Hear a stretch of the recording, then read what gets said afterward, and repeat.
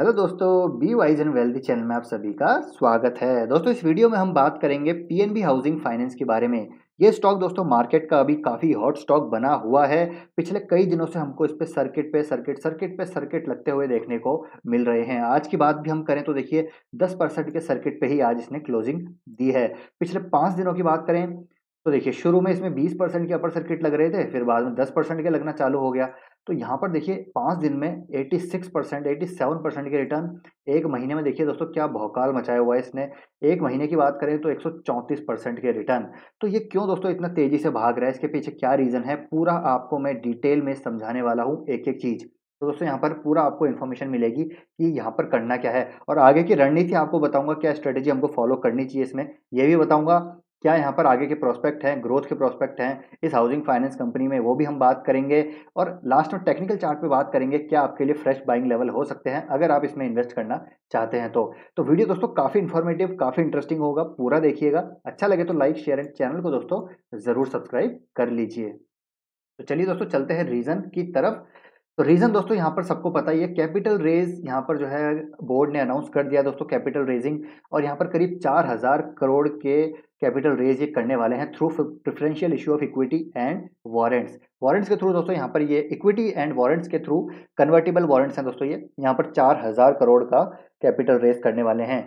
वैसे दोस्तों स्ट्रीट को एक्सपेक्टेड था कि करीब 1800 करोड़ का यहाँ पर जो है कैपिटल रेजिंग होगी, लेकिन दोस्तों यहाँ पर ऑलमोस्ट डबल कैपिटल रेज हुआ है। तो एक तरीके से आप समझ सकते हैं कि ये जो तेज़ी का कारण है ना दोस्तों, ये सर्किट क्यों लग रहे हैं? इसी वजह से। क्योंकि स्ट्रीट के जो एस्टिमेट्स होते हैं, कभी भी उसको अगर बीट करते हैं, चाहे रिज़ल्ट की बात करें चाहे कैपिटल रेस की बात करें तो दोस्तों यहाँ पर बहुत ही ज़्यादा एक तरह से एक तरह से बहुत तेज़ी देखने को मिलती है शेयर में।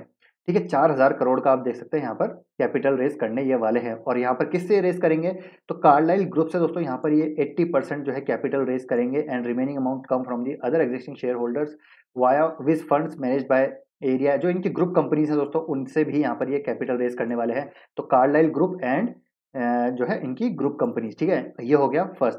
और सैलिसबेरी इन्वेस्टमेंट से भी। सैलिसबेरी इन्वेस्टमेंट दोस्तों, आदित्यपुरी की कंपनी है तो यहाँ पर ये भी इन्वेस्टमेंट करने वाले हैं। हालाँकि इनका स्टेक थोड़ा कम रहेगा अब क्या कार्लाइल और ग्रुप कंपनी के मुकाबले, लेकिन स्टिल यहाँ पर ये भी इन्वेस्ट करने वाले हैं। तो ये भी दोस्तों एक पॉजिटिव है, क्योंकि आदित्यपुरी का नाम दोस्तों सबको मालूम है, बहुत ही मतलब कॉर्पोरेट जगत में आदित्यपुरी का नाम एक रेस्पेक्ट से लिया जाता है। तो अगर वो किसी कंपनी में इन्वेस्ट कर रहे हैं तो यहाँ से दोस्तों एक बहुत ही ज़्यादा ऑप्टिमिज्म आता है इन्वेस्टर्स में। तो यह है दोस्तों दूसरा रीज़न जिसकी वजह से शेयर में हमको इतनी भयंकर तेज़ी देखने को मिल रही है। और ऑब्जेक्टिव यहाँ पर क्या है कैपिटल रेजिंग का? Augment capital adequacy reduce gearing अभी इसके बारे में हम थोड़ी नीचे दूसरी स्लाइड्स में बात करेंगे। ठीक है, ये हो गया। अब कैपिटल रेज स्ट्रक्चर हम देखें तो देखिए प्रिफरेंशियल इक्विटी शेयर्स के थ्रू 80 परसेंट कैपिटल रेज होगी, करीब बत्तीस करोड़ और जो कन्वर्टेबल वारंट्स हैं, उनके थ्रू 800 करोड़ तो करीब 4000 करोड़ ऑलमोस्ट 4000 करोड़ का यहाँ पर कैपिटल रेजिंग होने वाली है। और देखिए, जो इन्वेस्टर्स हैं कौन कौन है इसमें? प्लूटो इन्वेस्टमेंट कार्डल ग्रुप की कंपनी है थर्टी पॉइंट टू परसेंट यहाँ पर इनके पास अलॉटमेंट होगा स्टेक होगा। सैलिसबरी जो आदित्य पुरी जी की कंपनी है पॉइंट टू मतलब देख सकते हैं बहुत ही कम है। General Atlantic Singapore nine point eight and alpha investment three point eight तो ये है इनका स्ट्रक्चर दोस्तों, यहाँ पर कौन कौन इन्वेस्टर्स हैं और कितना उनका शेयर होल्डिंग परसेंटेज होगा। अब आगे देखिए वे फॉरवर्ड की हम बात करें तो आगे वे फॉरवर्ड मतलब कि आगे दोस्तों यहाँ पर इस कैपिटल रेजिंग के बाद कंपनी में हाउसिंग फाइनेंस जो पीएनबी हाउसिंग फाइनेंस कंपनी में क्या क्या हमको ट्रिगर्स ग्रोथ के ड्राइवर्स देखने को मिल सकते हैं, क्या आगे की इनकी रणनीति होगी, उसके बारे में अगर जाने तो देखिए यहाँ पर improve C A C R A R and gearing C R A R मतलब दोस्तों ये कैपिटल एडिक्वेसी रेशियो होता है काइंड ऑफ़ इसको आप जनरल uh, अगर टर्म्स में बताऊँ तो इसको capital to risk weighted asset ratio भी कहा जाता है लेकिन ये काइंड ऑफ़ इसको कैपिटल एडिक्वेसी रेशियो भी आप कह सकते हैं। तो अभी जो प्रेजेंटली है अट्ठारह पॉइंट सात की दोस्तों यहाँ पर बाद में हो जाएगी ये पूरा रिस्ट्रक्चरिंग हो जाएगी जब अट्ठाईस परसेंट। तो आप समझ सकते हैं गजब की यहाँ पर कैपिटल एडिक्वेसी रेशियो करने का इनका प्लान है और गियरिंग भी यहाँ पर कम होने वाली है। छः पॉइंट सात एक्स की गियरिंग है दोस्तों अभी तो ये इंप्रूव होकर फाइव एक्स हो जाएगी। गियरिंग मतलब कि मतलब प्रपोर्शन होता है दोस्तों ये डेट एंड इक्विटी का जो कंपनी यूज़ करती है टू सपोर्ट इट्स ऑपरेशन तो यहाँ पर इससे पता चलता है कि कितना यहाँ पर डेट ले रही है कंपनी कितना इक्विटी में इक्विटी के थ्रू यहाँ पर इन्वेस्ट कर रही है अपने अपने ऑपरेशंस में। तो यहाँ पर अगर जितना ही रिड्यूस होता है, उतना ज़्यादा दोस्तों अच्छा अच्छा होता है। तो यहाँ पर गियरिंग भी इनकी इंप्रूव होगी। तो ये एक अच्छी चीज़ है। ग्रोथ एक्सेलरेट करने वाले हैं। ये growth opportunities in the housing finance sector with predominantly retail focus increase focus on fast growing affordable home loan segment तो यहाँ पर आप देख सकते हैं एक्सेलरेट ग्रोथ के ये ये जो पॉइंट हैं, इन्होंने यहाँ पर दिए हैं। इंप्रूव कॉस्ट ऑफ़ फंड्स तो डेफिनेटली यहाँ पर दोस्तों हमको क्रेडिट ग्रोथ भी अच्छी खासी अच्छी खासी आती हुई देखने को मिल सकती है। और एक्सपर्ट्स का भी मानना है दोस्तों यहाँ पर कि जो इनकी लोन ग्रोथ है, वो भी अच्छी खासी यहाँ पर बढ़ने वाली है एक्सपेक्टेड है। क्रेडिट कॉस्ट जो है, उसमें भी गिरावट आएगी और कॉस्ट ऑफ़ फंड्स में भी इंप्रूवमेंट होगा। और प्रॉफिट कम से कम एटलीस्ट इनका 20 परसेंट के आसपास भी हमको ग्रोथ देखने को मिल सकती है। ये एक्सपर्ट्स का दोस्तों यहाँ पर कहना है, एक रिपोर्ट के अनुसार। देखिए कॉस्ट मैनेजमेंट हमने बात कर ली digitization and analytics focus transformation project capital buffer corporate governance तो ये सारी चीज़ें दोस्तों कुल मिला के, ये सब चीज़ मिला के अगर यहाँ पर सब चीज़ होती हुई हमको देखने को मिली तो आपको यहाँ से डेफिनेटली दोस्तों हाउसिंग फाइनेंस की ये कंपनी अच्छा खासा ग्रोथ दिखा सकती है भविष्य में। तो ये है दोस्तों इनका वे फॉरवर्ड जो आपको जानना ज़रूरी है, क्या इनके रिस्ट्रक्चरिंग के बाद, यहाँ पर इन ग्रुप कंपनीज़ के इन्वेस्टमेंट के बाद क्या क्या यहाँ पर चीज़ें आगे होती हुई हमको देखने को मिलेगी। तो ये हो गया दोस्तों वे फॉरवर्ड ये हो गया आपके कैपिटल रेज स्ट्रक्चर कैसा होगा एंड यहाँ पर कौन कौन इन्वेस्ट कर रहा है इस कंपनी में तो ये आपको पता हो गया। अब बात करें टेक्निकल चार्ट पे दोस्तों, यहाँ पर क्या सिचुएशन आ रही है। देखिए, पिछले चार दिनों से आप देखेंगे तो यहाँ पर अपर सर्किट पर अपर सर्किट लग रहे हैं, लेकिन अब क्या हमको इसमें इन्वेस्ट करना चाहिए?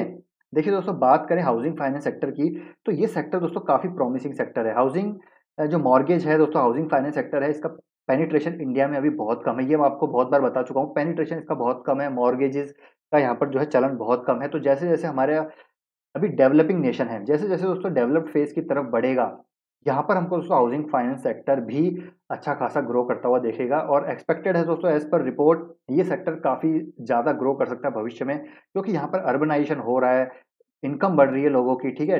जो है इकोनॉमी यहाँ से मज़बूत होगी और डेफिनेटली दोस्तों ये सारी चीज़ें एक तरह से सपोर्ट करती है अफोर्डेबल हाउसिंग के लिए। दोस्तों गवर्नमेंट ने कितना अच्छा इनिशिएटिव ऑलरेडी यहाँ पर जो है लॉन्च कर रखा है आपको पता ही है।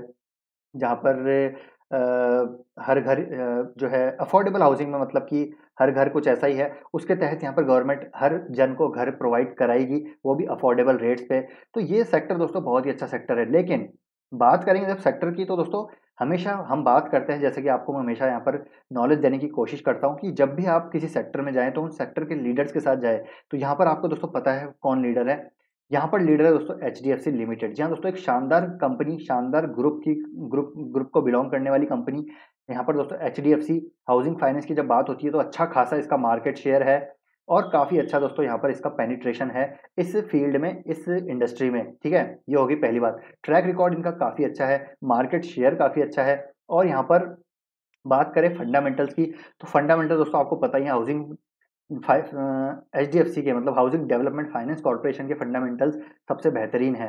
तो यहाँ पर ये टॉप की कंपनी अगर आपको हाउसिंग फाइनेंस सेक्टर में जाना है तो आप इसमें ज़रूर इन्वेस्ट कीजिए दोस्तों, ये सेक्टर बहुत ज़्यादा ग्रो होगा। और दूसरी कंपनी में अगर आपको जाना ही है तो मेरे ख्याल से दोस्तों आवास फाइनेंशियल यहाँ पर मुझे बहुत बेहतरीन कंपनी लगती है। अफोर्डेबल हाउसिंग कंपनी है ये।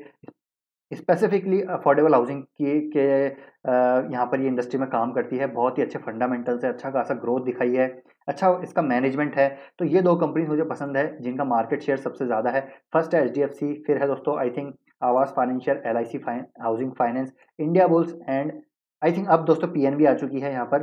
मार्केट कैप के अकॉर्डिंग में बात कर रहा हूँ। चौथे नंबर पे पीएनबी आ चुकी है पीएनबी हाउसिंग फाइनेंस तो यहाँ पर ये कंपनी जो ऊपर की टॉप की है, इसमें आप इन्वेस्ट कर सकते हैं। अगर आपको पीएनबी हाउसिंग फाइनेंस में इन्वेस्ट करना है तो आप दोस्तों इसमें एक हज़ार के लेवल के ऊपर, एक हज़ार यहाँ पर आप देख रहे हैं ना ये, एक हज़ार सत्तर के लेवल के ऊपर यहाँ पर आप इन्वेस्ट कीजिएगा। क्योंकि तब तक दोस्तों पिक्चर क्लियर हो जाएगी। यहाँ पर क्या डेवलपमेंट्स हो रहे हैं मैनेजमेंट यहाँ पर जो है क्या एग्जीक्यूट कर रहा है। एक बार पूरा डेवलपमेंट हो जाए, पूरी न्यूज़ आ जाए, उसके बेसिस पे दोस्तों हमको डिसीज़न लेना चाहिए। कभी भी न्यूज़ बेस्ड रैलीज में हमको पार्टिसिपेट नहीं करना चाहिए। हो सकता है दोस्तों यहाँ से हमको कल से इसमें फिर से लोअर सर्किट देखने को मिल जाए।